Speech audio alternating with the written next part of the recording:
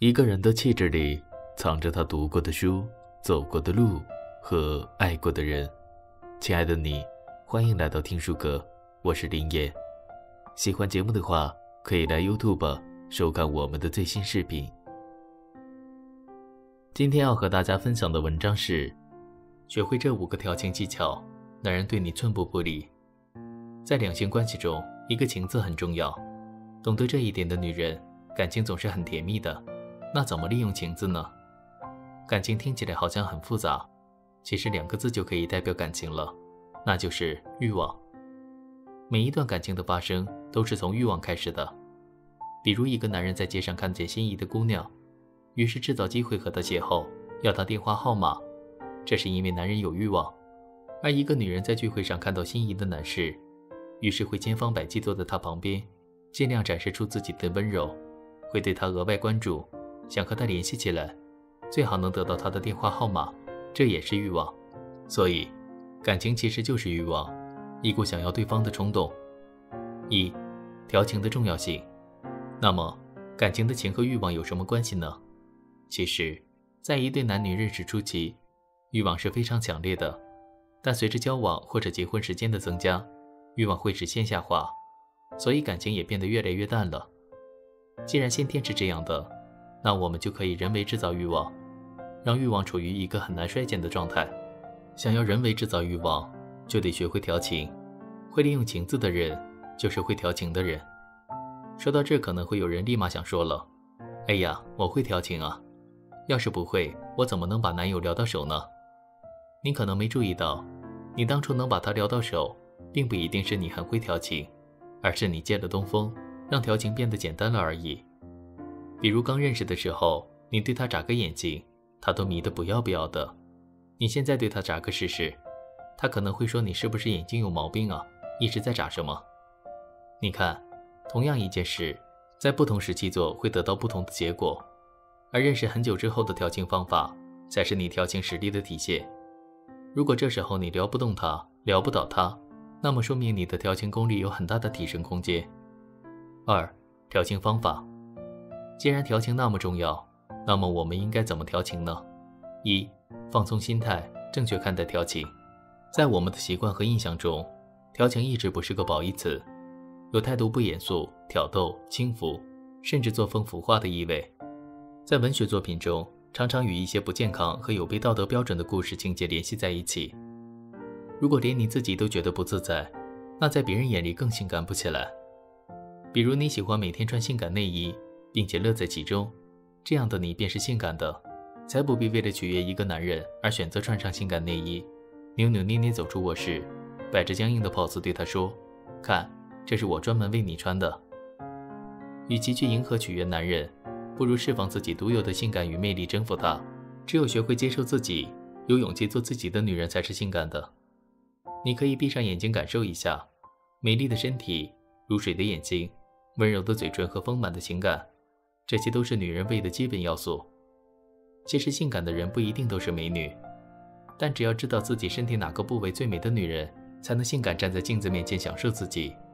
眼睛和耳朵，锁骨和腰部，也许头发和手指，我们最喜欢的地方，是对我们的身体最大的信心。当我们把感情倾注到这些部位时，性感是自发的，不是有意的。如果没有美丽的身体，我们可以练习温和的动作。如水般的眼睛。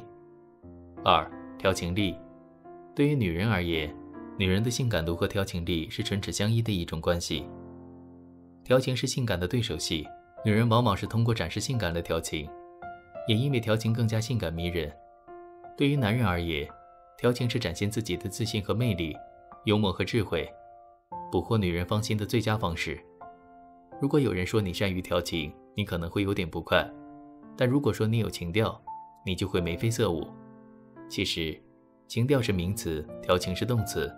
我们调情调的正是情调。比如，当我们在街边看到独特气质的一个女生被搭讪，彼此间话中有话时，总会在心里感叹多有情调；或者是看到一个穿着校服、有些痞坏的男高中生，向女生吹口哨打招呼，同时女生也可以回一句意味深长的“汉”。实际上，调情已经成了亲和力。率直、开朗、幽默，倜傥、洒脱和有艺术气息的代名词。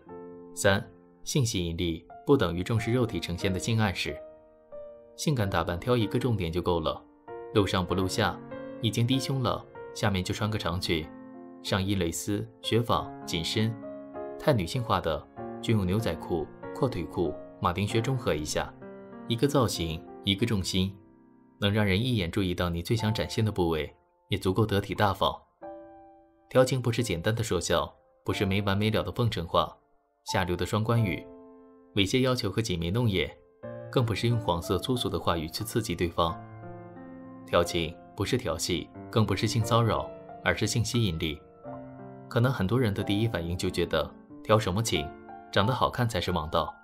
其实不然，好看和调情没有关系，好看只会让你好看，但调情是两个人一起跳一支 Tango，没有设定的舞步，没有台本，没有唱词，全靠彼此的眼神和肢体试探和默契，暗示与会意。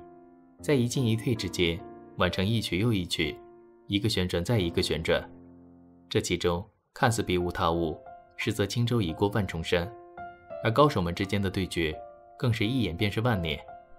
四逗着玩，在调情中有一种基本的行为，就是逗着玩或者嘲笑对方。其实两性关系很大程度上是一种游戏，而对于挑战感是一个基本的要素。如果你上来就来我五百一拳打死大 boss。恐怕这个游戏你也很难玩下去。在知乎上有个帖子，是关于如何回答女友提出的一些难题，例如我和前女友谁更漂亮。关于这个问题，有些人会老老实实回答到底是漂亮，也有人会说诸如当然是你漂亮了，宝贝。其实这个问题，女方很多时候也就是逗着玩，给出了一个挑战。从调情的角度，更好的策略是反过来，给对方树立一个挑战。逗逗对方看怎么回答，例如下一任更漂亮。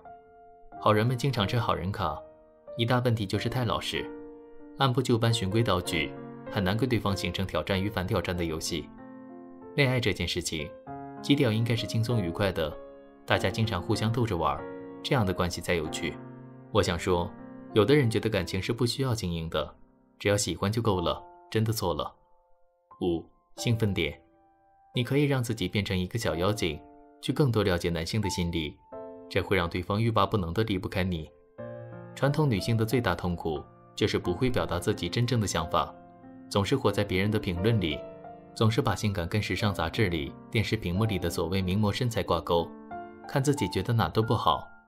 性感也是可以学习的，而以上帮助大家调情、感情好的经营技巧和方法，能让你们感情继续保持在一个良好状态。甚至是让你们感情更进一步的有效方法。愿你幸福。文章到这里就结束了。如果觉得文章还不错的话，欢迎把文章分享出去。您的每一次点赞和转发，都是我们进步的动力。世界很大，让我们在听书阁一起成长。另外，听书阁现在开设了一个新栏目，听见您的声音。栏目会在每周三晚上八点。和大家分享一些听众的情感困惑，大家可以在视频下方发表您的看法和建议。林言希望大家都能怀着最大的善意发表言论。如果您想和大家分享您的情感问题，可以发送到我们的邮箱。预设我们可以将您的来信制作成视频，请放心，我们会对您的个人信息进行保密。如果我们采用了您的故事，会在发布的时候回复您。您可以查看大家的评论和建议，世界会因善良而变得更加美好。